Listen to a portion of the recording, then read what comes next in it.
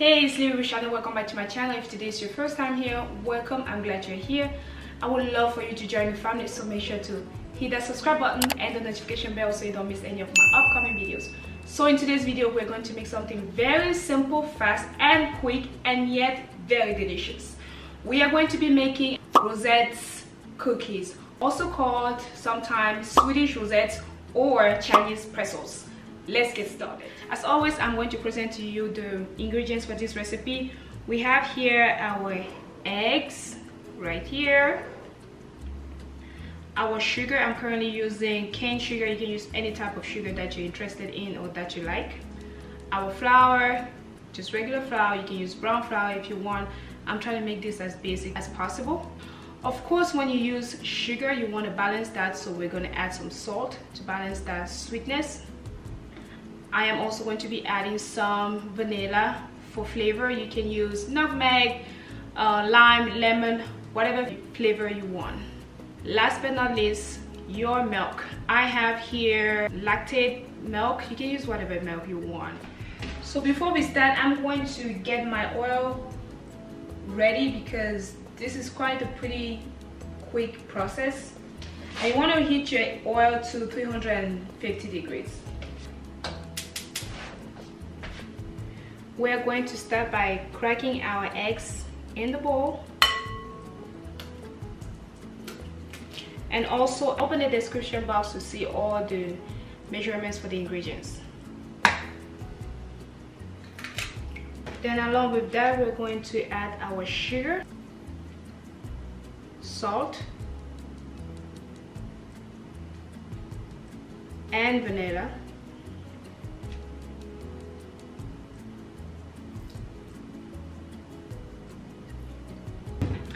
Whisk it together.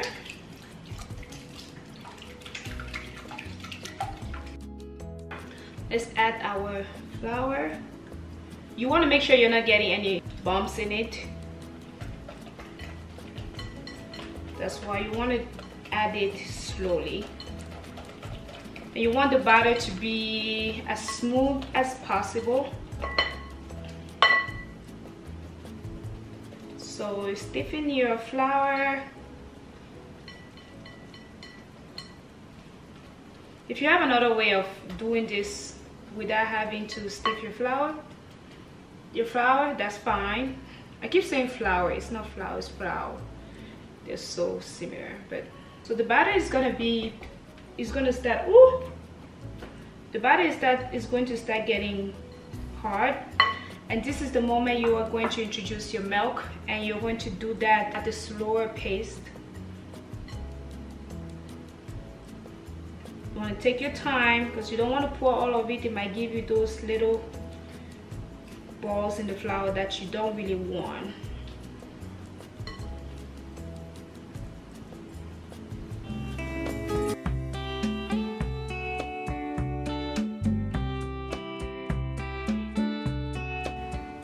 your batter to look like should be without any of the bubbles or balls. You could put this in the fridge overnight or you can use it right away. I'm going to use mine right away.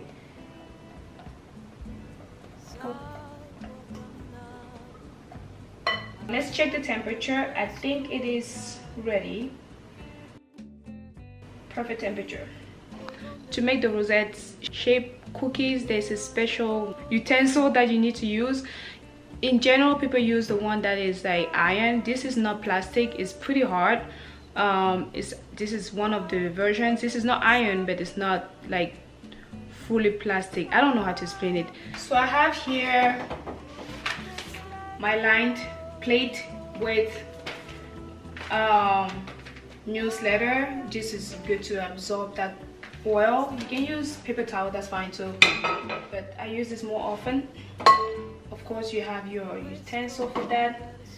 And we have our batter. So the process is that you dip this in the oil remove a little bit of the oil dip it in here and you take it in there. I'm going to show you that how that works. And when you dip it you want to make sure that you're not dipping fully. You want to do probably max halfway through this right here. If you're using is it plastic? Not plastic. I don't know if it's silicone or plastic I'm not sure but if you're using this version make sure you do what I do. So I'm gonna check the temperature again. We are 399 which is good. Yeah it sounds a lot harder but it's not well it is but yeah. So I'm just gonna take that out tip it and when you tip it you should hear it a little bit then as soon as I get that I just gonna I'm just gonna hold it. With an iron utensil within 30 seconds or so it will release from the utensil but because this is not iron it doesn't.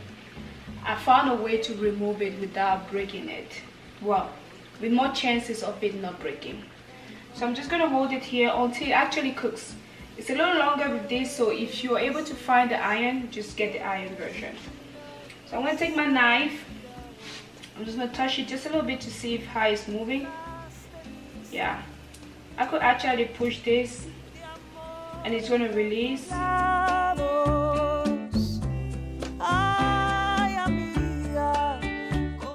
But by the time this releases the color will have already changed to the brown. And I'm just gonna leave this there to heat up while that just cooks. It's pretty much ready. You don't have to wait too long because yeah. So by the time it releases if you're using an iron utensil you will have more time to fry it but because it's not iron yeah.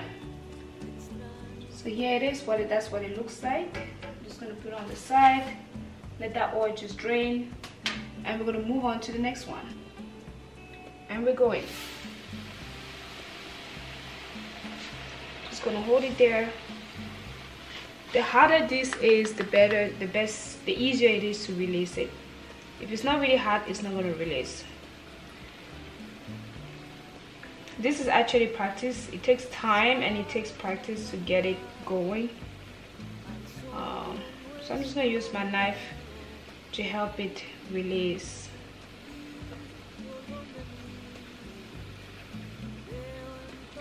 make sure you keep it in the oil while you're doing this. You don't want it to be out because it has to stay in the oil. Once that releases I'm to leave this in there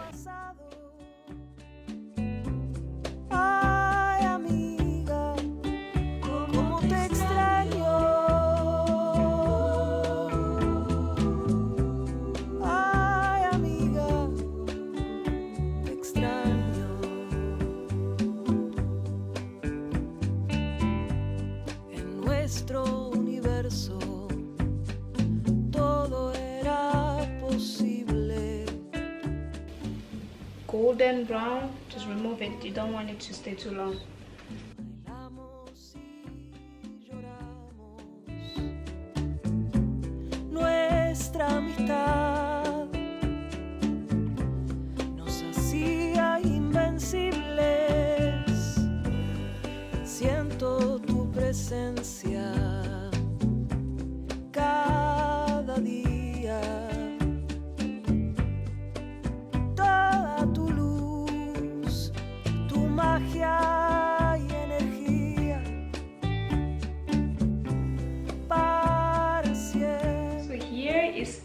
rosette cookie. As you can see you can make quite a lot with the measurements with just one cup of uh, flour. You can make a lot. So I am going to add a little bit of some powdered sugar to it. You can eat it as plain as it is. You can add some powdered sugar or you can eat it with like ice cream. I like my ice cream so we're gonna do some ice cream. Or you can just add some fruits to it and you'll be good to go powder sugar, here we go.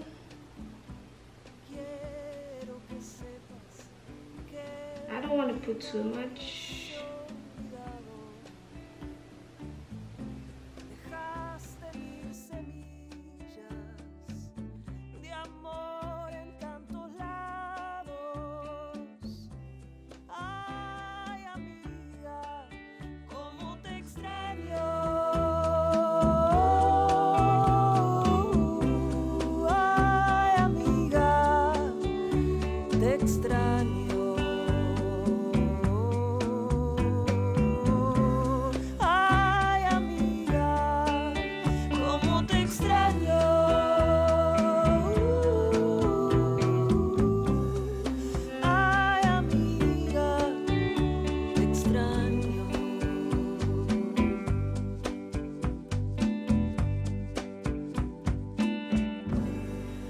Was telling you i like my ice cream so i'm going to put some ice cream on mine.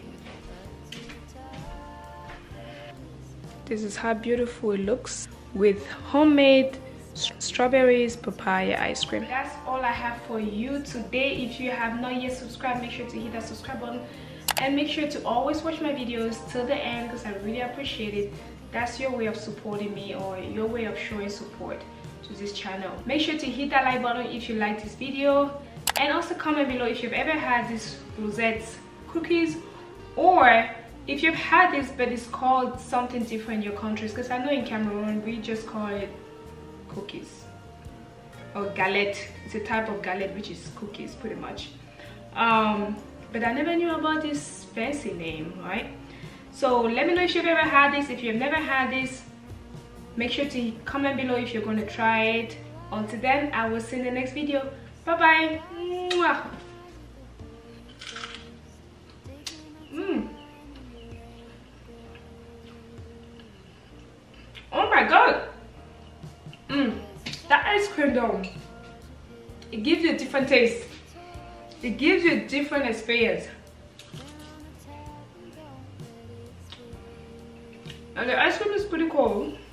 So it's good. It's like cookies and yogurt mm, the ice cream is really good. This is also my homemade ice cream. So if you have not watched any of my ice cream videos make sure to check them out. I have a few on my channel i think two or three videos on how i make ice cream. Check those out.